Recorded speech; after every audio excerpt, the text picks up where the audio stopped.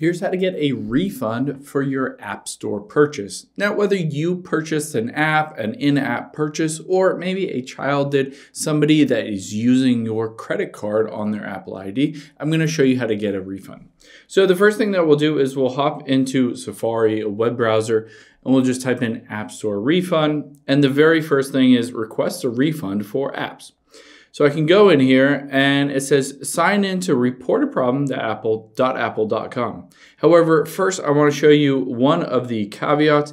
It says at the very bottom if it says if the charge is pending, then you need to wait until it's fully been charged until you can request a refund. And then if you have an unpaid order, again, you need to fully pay for it and then request a refund.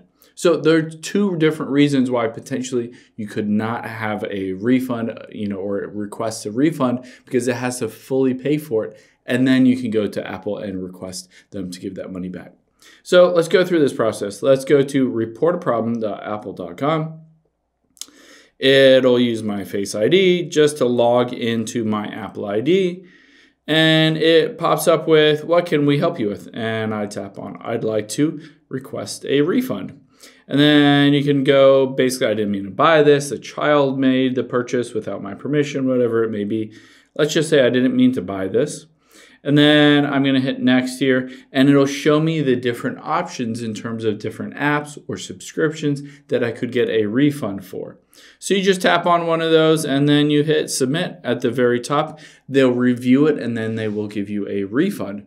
Now, another thing to check is if you're having a child or someone else make purchases on your card, you can always turn that off just by hopping out here and going into settings and then you're going to tap where it says family right under your name. And you can see there are a few different people on my family, but at the bottom it says subscriptions. I have two shared subscriptions and purchase sharing. So if you have purchase sharing turned on, then whoever else is in your iCloud or Apple ID family can use your card to make purchases. So if that's turned on, you can just go into it and just basically delete it or disable that purchase sharing so that if they're in your family, they still have to have their own card or payment method to be able to buy any apps or in-app purchases. Hope this helps. If you have any questions on that, leave them in the comments down below and I'll catch you on the next one.